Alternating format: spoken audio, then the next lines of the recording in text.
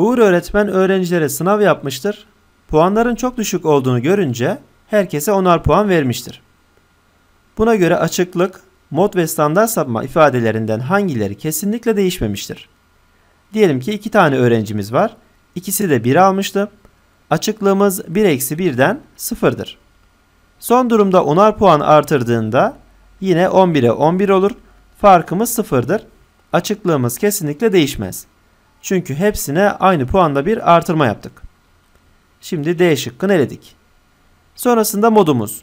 Mesela diyelim ki 3 kişiyiz. Puanlarımız burada 1, 2, 2. Bunları 10 artırdığımızda 11, 12, 12 olur. İlk durumda modumuz 2 iken şu an 12. Dolayısıyla muhakkak değişmek zorunda. Yani ikileri de eliyoruz. Peki standart sapmaya bakalım.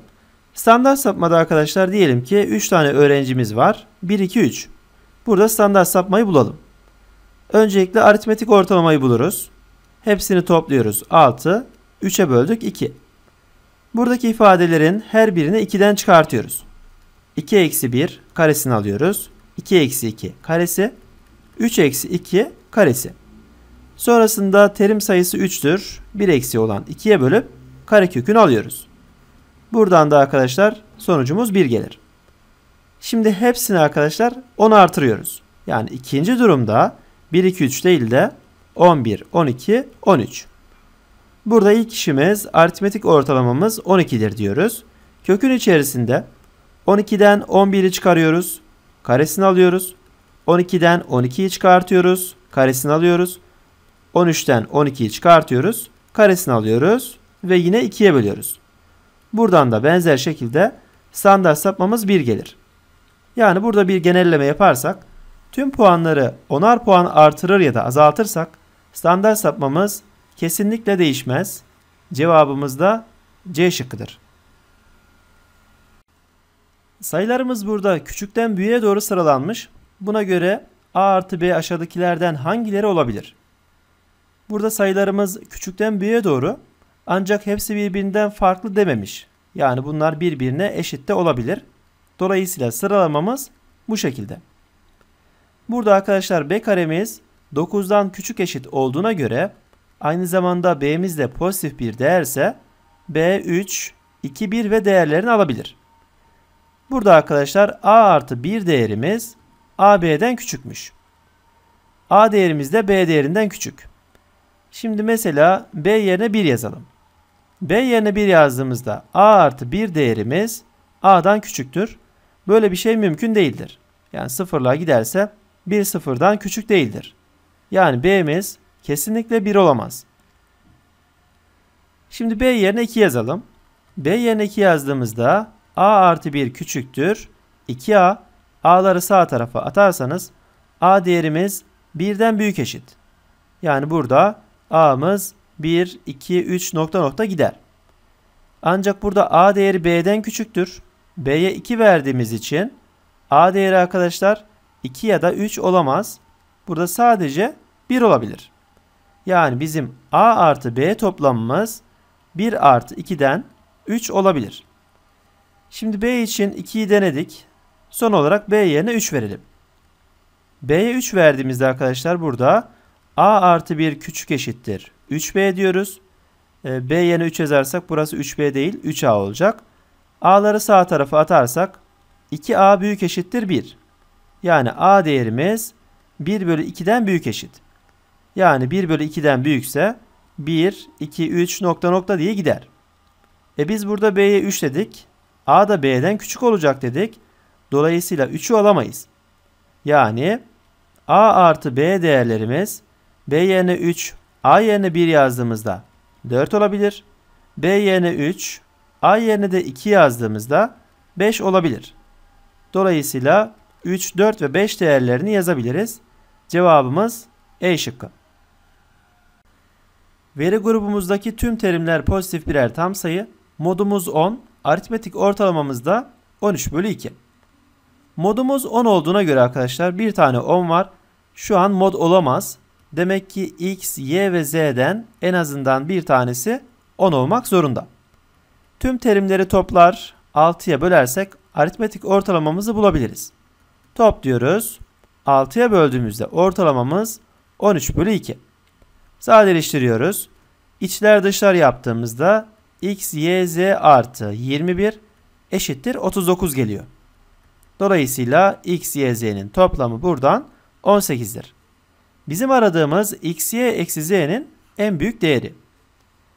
Şimdi burada x, y ve z'den bir tanesi değil de iki tanesi 10 olursa toplamı, e, toplamı 20 yapar ve 18'i geçer. Demek ki bunlardan sadece bir tanesi 10'dur. Şimdi en çok dediği için arkadaşlar mesela burada x'imiz 10, y ve z'mizi bilmiyoruz. Toplamı 18 yapacak.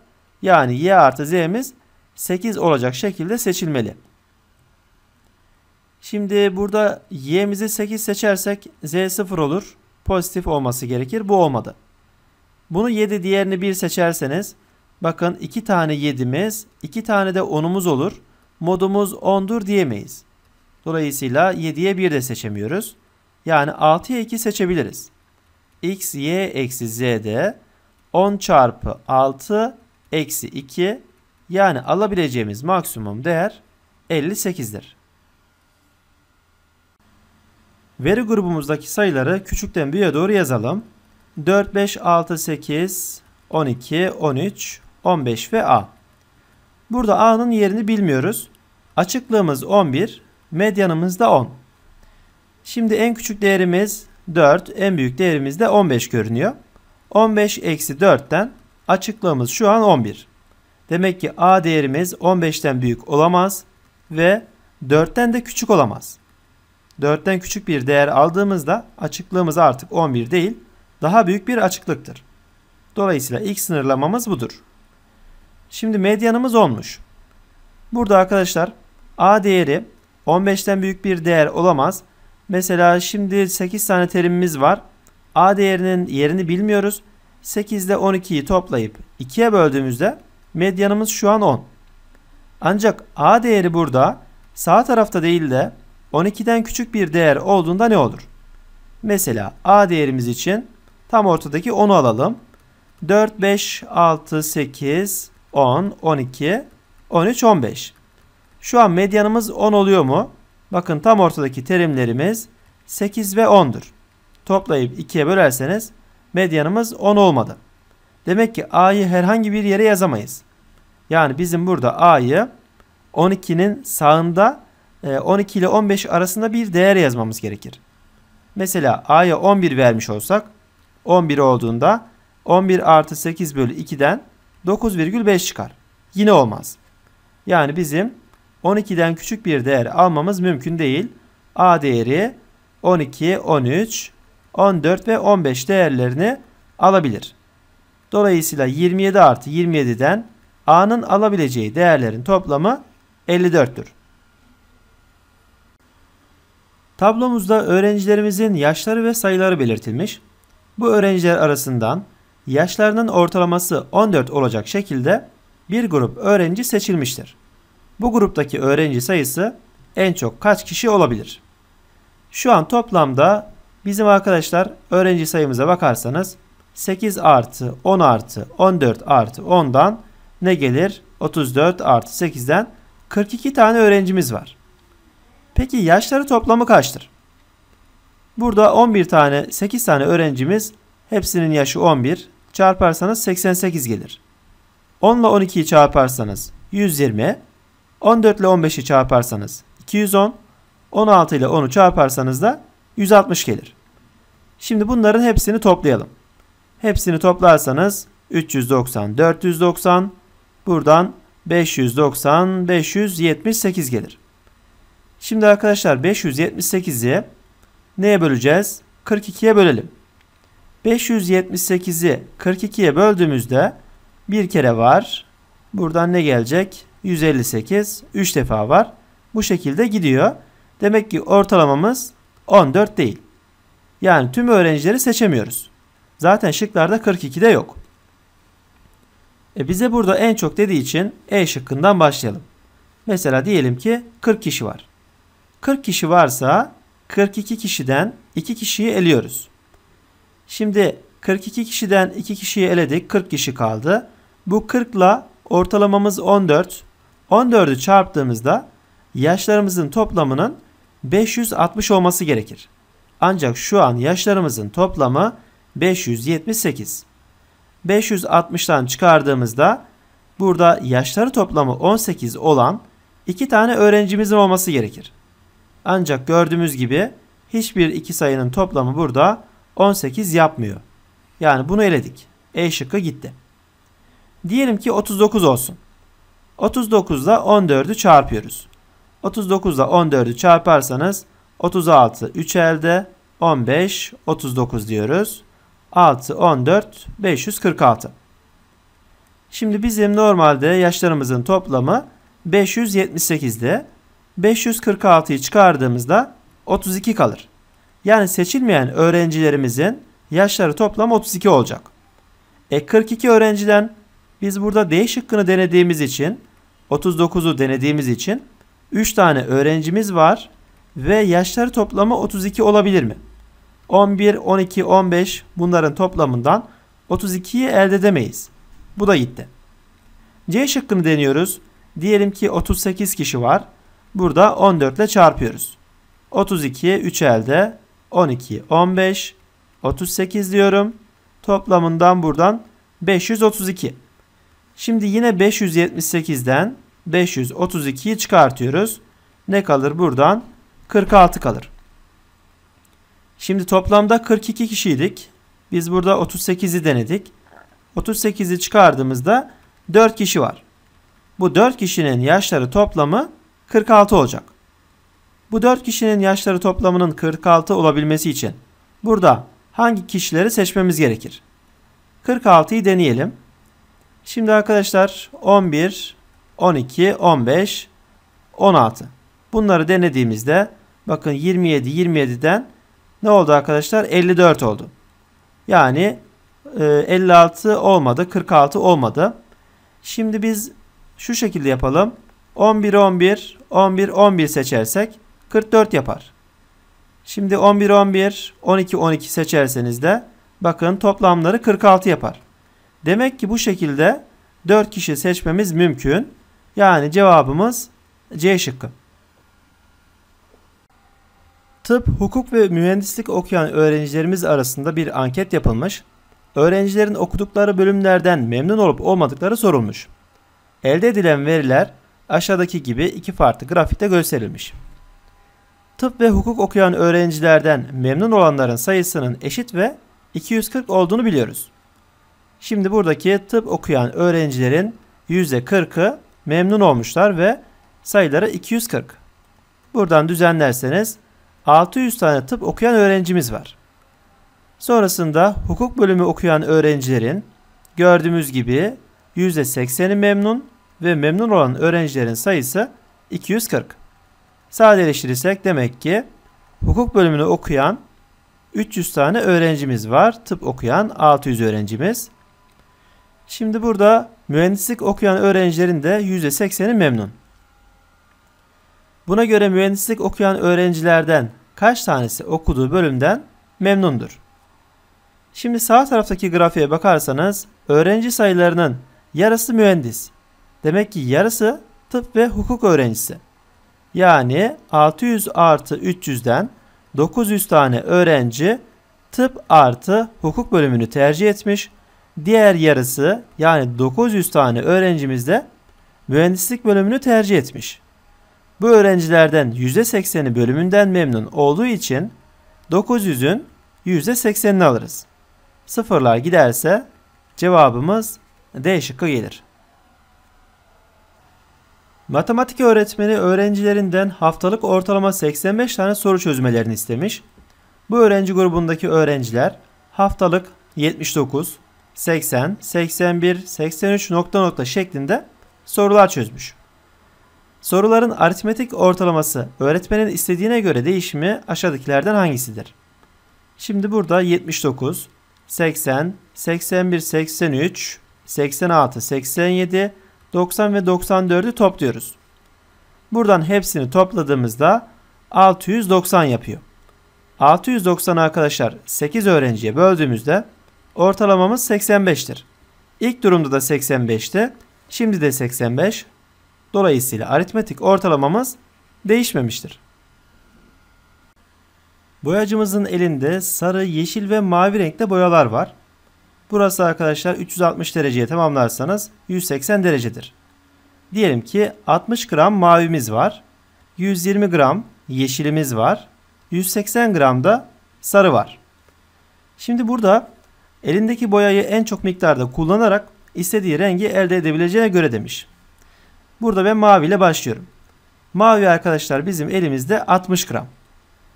Şimdi sol taraftaki grafikte 90 derecemiz 60 gramlık maviye karşılık geliyorsa 120 derecemiz kaç gramlık yeşile karşılık gelir bunu bulmamız gerekir. Burada içler dışlar yaparsanız buraya x diyelim. 90x eşittir 120 çarpı 60'tır. Sıfırlar giderse 9x 720 x 80'dir. Yani 80 gram yeşil kullanıldı. Sonrasında 120 derece 90 derece ile toplarsanız 210 derece tam açımız 360 olduğu için sarılar için ayrılan bölme burası 150 derece. Yine burada 90 derecemiz 60 gram mavi ise 150 derecemiz y gram sarıdır diyeceğiz. İçler dışlar yaparsanız 90y eşittir 150 çarpı 60'tır. Sadeleştirirsek y dediğimiz değer de 100'dür. Yani burası 100 gram sarıdır. Şimdi elimizde toplamda 360 gram boya vardı. Peki bizim kullandığımız boyalara bakarsanız burada 60, 80 ve 100'den 240 gramı kullanıldı. E, dolayısıyla 360'tan 240'ı çıkarırsanız 120 gramı kullanılmadı. Kullanılmayan bu boyanın oranı da 360 gramda 120 gramdır. Cevabımız buradan 1 bölü 3'tür. E seçeneğidir.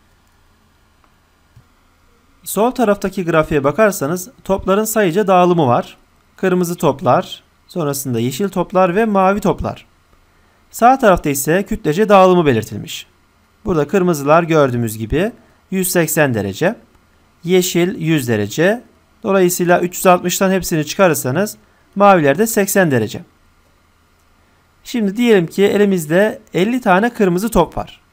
50 tane kırmızı top burada 180 dereceyle gösterilmiş. 180 gram gibi düşünebiliriz. Sadeleşirse her bir kırmızı topumuz 3,6. Sonra yeşile geçiyoruz. 30 tane yeşilimiz var. 100 dereceyle gösterilmiş. Yani 100 gram diyebiliriz. Buradan da y'miz 10 bölü 3'tür. Yaklaşık olarak 3 tam 10'da 3 gram. Sonrasında arkadaşlar maviye geçelim. 20 tane mavimiz 80 derece. Yani 20 mavi 80 gram. Her bir mavi de o zaman 4 gram. Buradan en küçüğümüz 3 tam 10'da 3. Sonra 3 tam 10'da 6. En sonunda 4'tür. Yani y küçük, k küçük m'dir. Cevabımız C şıkkı. Okulumuzda 480 tane öğrencimiz var. Burada okula hangi araçlarla geldikleri gösterilmiş. Daire grafiği olarak belirtilmiş. Biz bunu sütun grafiğine döndürmek istiyoruz. Şimdi arkadaşlar burada tam açımız 360 derece. 360 derece 480 öğrenciye karşılık geliyorsa otobüs burada bakın 144 derece. Bu da x kişi diyelim. Şimdi içler dışlar yapıyoruz. 360 çarpı x eşittir 144 çarpı 480. Burada sıfırlar gitsin. Her iki tarafı 36'ya bölerseniz 4 çarpı 48'den otobüste gelen kişi sayısı 192'dir. Bunları eledik. Sonrasında metroya bakalım. Metro arkadaşlar 72 derece. Aynı işlemleri yapabiliriz. Ancak bakın 144'ün yarısı 72 olduğu için buradaki bulduğumuz 192'yi 2'ye bölerek metroyu bulabiliriz. Dolayısıyla arkadaşlar 96 olduğu için burada bakın 72 E'yi deledik. C'yi deledik. Cevabımız bu şekilde A şıkkı. Histogramın genişliği sorulmuş. Birinci gruba bakalım. Burada arkadaşlar puanlarımız 50-57 aralığında. Son terimden ilk terimi çıkardım. 1 eklersem histogramın genişliği 8 gelir.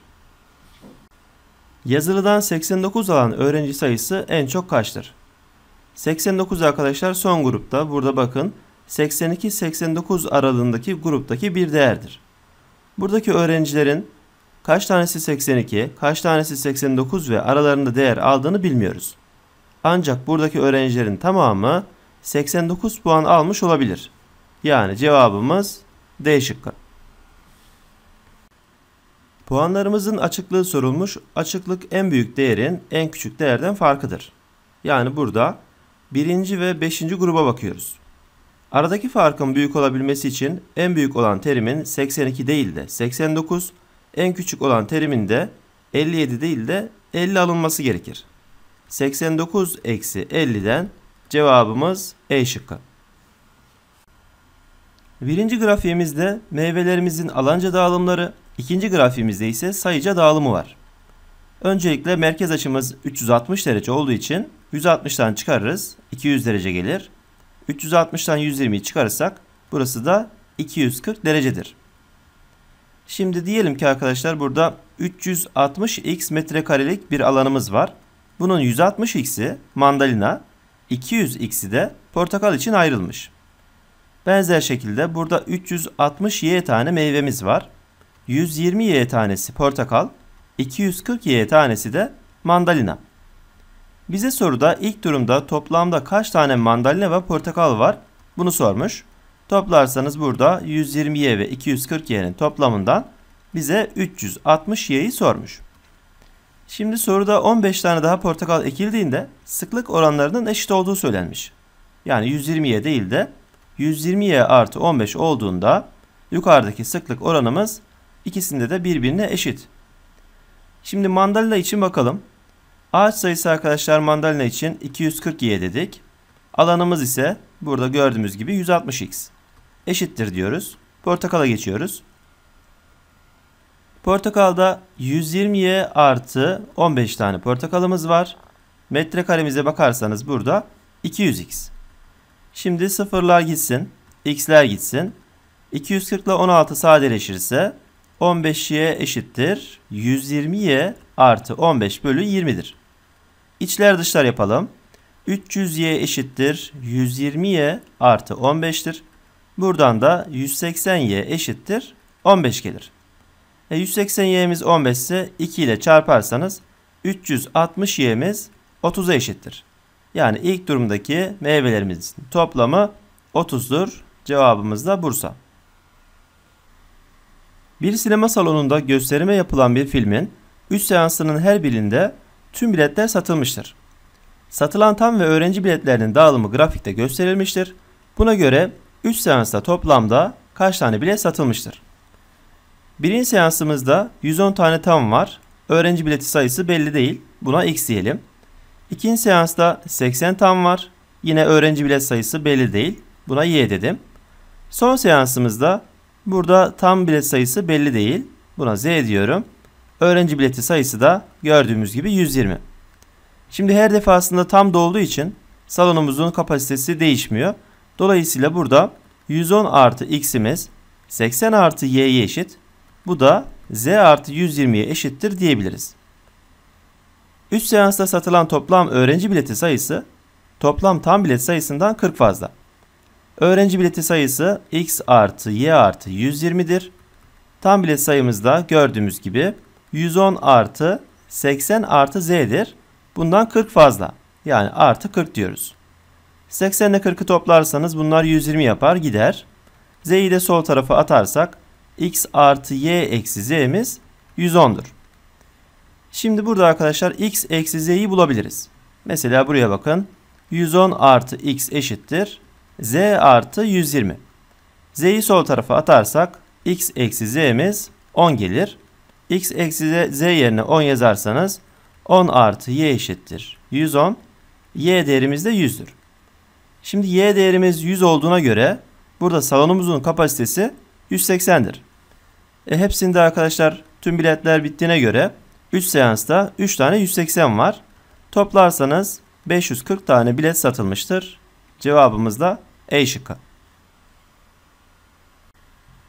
Elimizde 3 tane kitap var. İsimleri X, Y ve Z. 60, 80 ve 100 sayfa. Çağan burada bir kitabı okumaya başladığında o kitaptan 20 sayfa okuyor. Demek ki X kitabı 3 günde, Y kitabı 4, Z kitabı da 5 günde biter. Ancak başladığı günden bitirdiği güne kadar o kitabı her gün okuyor. Yani ard arda 3 gün X, 4 gün Y, 5 gün Z.